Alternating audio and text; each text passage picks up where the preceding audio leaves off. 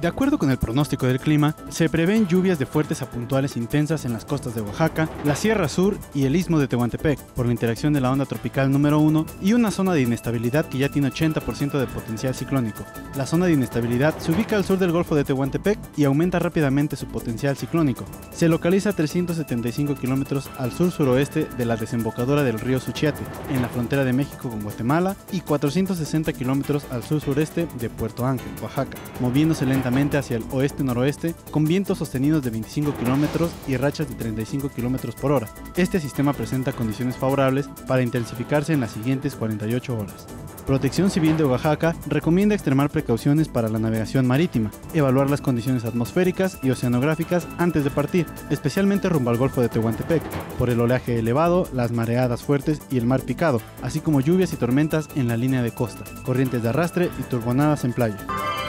Diversos actores políticos del municipio de San Juan Bautista Tuxtepec anunciaron que emprenderán acciones legales contra Fernando Bautista Dávila, presidente municipal con licencia y candidato del partido Nueva Alianza, por su presunta responsabilidad en el uso de recursos públicos, programas y personal del ayuntamiento para su campaña. Fueron integrantes del Partido del Trabajo, Partido Movimiento Ciudadano y un candidato independiente a la alcaldía, quienes coincidieron en que es necesario presentar denuncias penales ante la Fiscalía Especializada para la Atención de Delitos Electorales por estos hechos.